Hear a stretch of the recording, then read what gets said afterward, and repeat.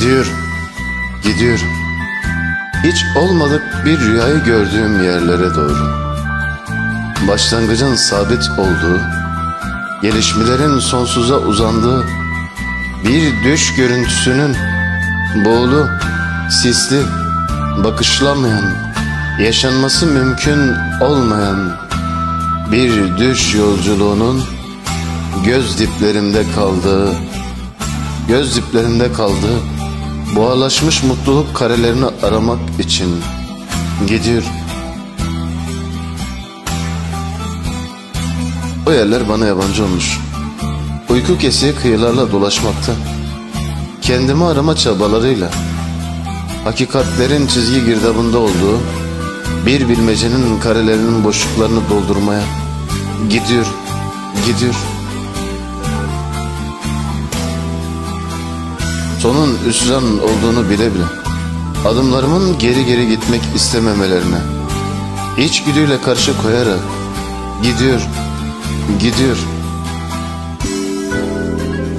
Sadece tıkanmışlığımı açmak için Dar nefeslerinde ağzımı rüzgara doğru açmak için Zehir zemberek koyu bir çayı yudumlamak için gidiyor Yokluğunu bile bile Seni kendimle yok etme çabalarımla Seninle olan her yere ayak basmak için Seni gömebildiğim kadar derine gömmek için gidiyor Ben neyin kovalamacasının içindeydim? Senden kurtulmak kayboluşlarıma sığmıyordu. Ve her kıvrılan viras sonunda aracımın önüne fırlayan can sıkıcı bir engel miydin? Bu kaçıncı yüz kilometredir ki senden kaçışlarla kovalandım. Her yolun ucundaki duruşlarım sana yaklaştığımın bir işareti miydi?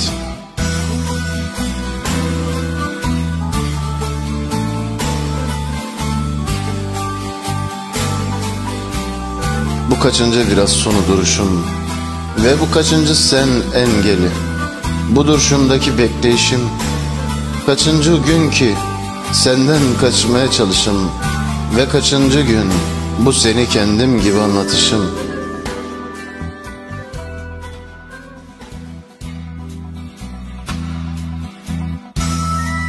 Bitmiyorsun Yollardaki her kilometre taşında sen ismi yazılmış gibi imzanı arayış bitmiyorsun işte. Bu kaçıncı gündür ki her an senin isminden korkusuzca nefret ediş. Adın yüreğimde fırlayan bir acı çıbanının ismi oluyor. Bu nefretin sonu neresi? Ve daha nerelere gitmem gerekli ki sen oralarda olmayasın. Sen oralarda olmayasın. Çözülmez bir bilmece bu. Başı, ortası, sağı solu belli değil. Sadece merkezinde bir sen ismi ki hiçbir yerde ne yazılabiliyor ne söylenebiliyor.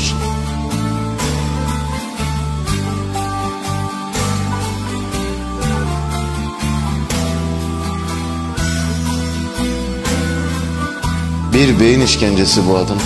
Bir işkence olgusu ki Nefrete bile sığmıyor. Karanlıklarım sen, aydınlıklarım sen, korkularım sen, düşlerim ve düşüncelerim sen. Bir yokluğundaki yaşan özlemim sen. Bırak uçurtmam. Son ip uzunluğunu uzasın mavili gökyüzünde, mavili gökyüzünde.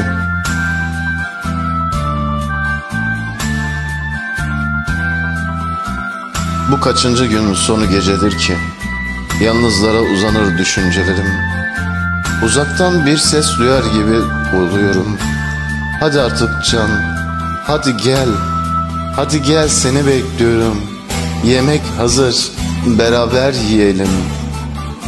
Kulağımda uluyan ses belki Belki de duyulmaz uzaklarda kaldı. Bir boşunaklıktı. Bu yaşamın bugüne kadar geçen kısmı.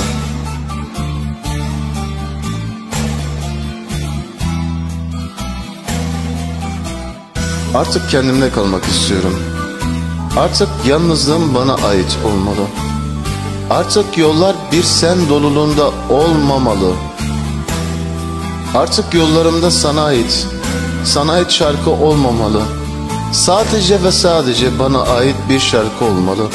Temposunu parmak uçlarıma direksiyona vurarak ben mırıldanayım. Benim şarkım diyerek ben mırıldanmalıyım. Ve güneş ışığı sen olmadan yüzümde durmalı. Kahvenin fincan sapını seni düşünmeden tutmalıyım. Bir kez olsun karnım sensiz doymalı. Açlıklarımın sebebi sensin. Bir tek sen. Bırak artık benimdeki tutuşlarını. Bir kez olsun kelimelerimi sen olmadan cümlelerime dökeyim. Bir kez olsun.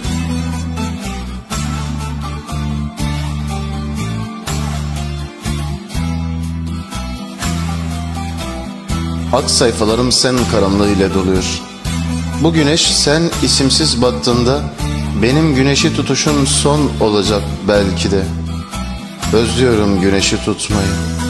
Özlüyorum. Özlüyorum sensiz yaşamayı. Sensiz yaşamı özlüyorum. Bu şehirde sokak lambaları yandığında sadece onun sesini duyarsınız.